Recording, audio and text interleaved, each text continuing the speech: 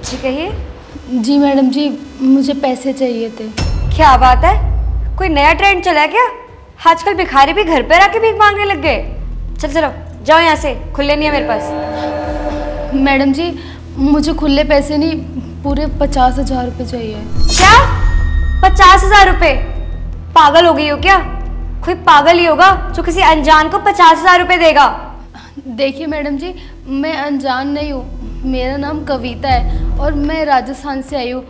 आपके पति ना मुझे बहुत अच्छे से जानते हैं। क्या? आकाश तुम्हें जानते हैं? हाँ मैडम जी वो मुझे बहुत अच्छे से जानते हैं। बुलाइए अपने पति को वो पहचान जाएँगे मेरे को। आकाश तो अभी घर पे नहीं है ऑफ़िस गए हैं। शाम तक आ जाएँगे। तुम तब आना। अरे नहीं नहीं मैडम प्लीज़ आप समझने की कोशिश करिए। देखिए, मुझे पैसों की बहुत ज़्यादा ज़रूरत है। एक काम करिए ना, आप एक बारी अपने पति को फ़ोन लगाइए ना और उनको बताइए कि कविता है राजस्थान से, देखना वो आ जाएँगे जल्दी से। Please madam ji. ठीक है तुम यहीं रुको, मैं बात कर कर आती हूँ।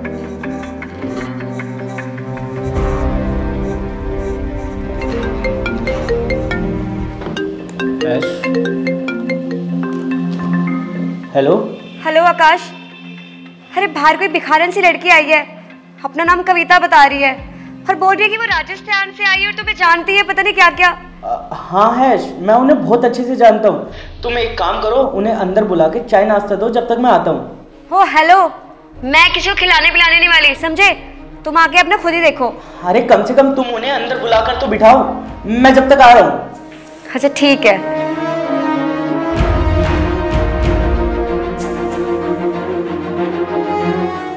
एक काम करो, आओ अंदर।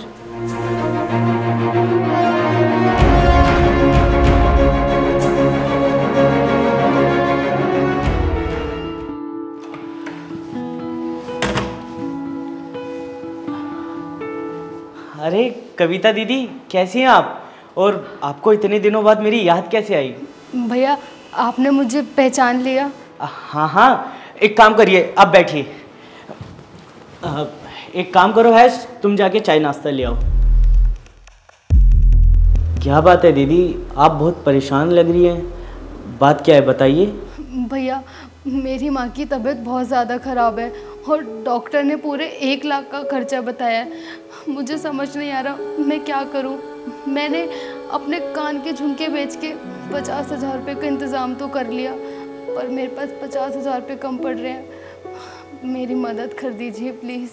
दीदी, आप टेंशन क्यों ले रही हो? मैं हूँ ना, मैं सब देख लूँगा। मैं लेके आता हूँ, आप यहीं बैठो। एक काम करो, आप ये चाय पियो जब तक। मैं आता हूँ।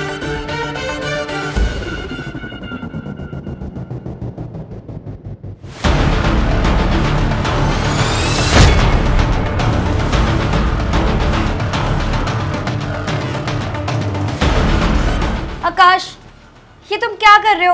तुम पागल हो गए हो क्या? जो उस भिखारन को पचास हज़ार रुपए दे रहे हो? हैश अभी तुम सच नहीं जानती। कविता दीदी ने मेरी तब मदद करी थी जब मुझे मदद की सबसे ज़्यादा ज़रूरत थी। अरे तो मैं कब मना कर रही हूँ? कि उसकी मदद मत करो। लेकिन इतना सारा पैसा देने की क्या ज़रूरत है?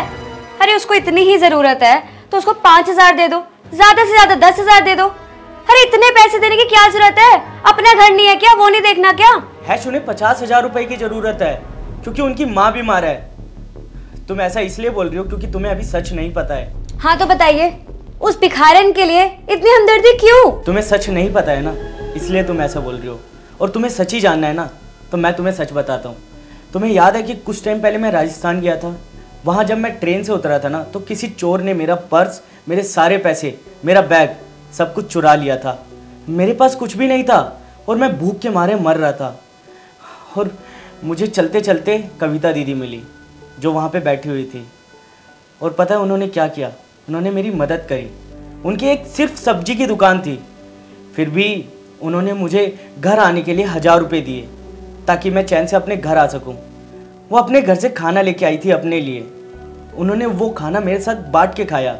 अरे जब अगर उन्होंने मेरे बुरे वक्त में मेरी मदद करी है तो अब तो मेरा कर्तव्य बनता है ना, कि मैं उनके बुरे वक्त में उनकी मदद करूँ।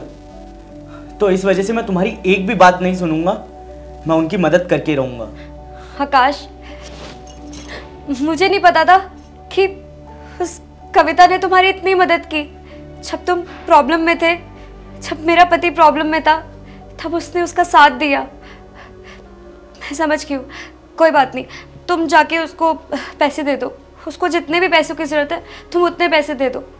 अच्छा हुआ तुमने मेरी बात समझने की कोशिश करी। और तुम्हें समझ भी आया। चलो अब उनके पास चलते हैं और उन्हें हम ये पचास हज़ार रुपये देते हैं। उन्हें इस पैसे की बहुत ज़रूरत है। चलो।